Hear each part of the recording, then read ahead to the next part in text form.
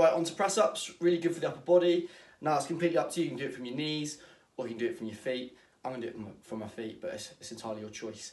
Um, normal stance, you should put your palms facing forward underneath your shoulders somewhere and making sure that we're bringing our chest as low to the ground as possible. Explode up. If you want to make it more difficult, widen your stance a bit more for wide arm press ups. Or again, make it more difficult, bring your hands in, know if you can see, into a diamond formation. And do narrow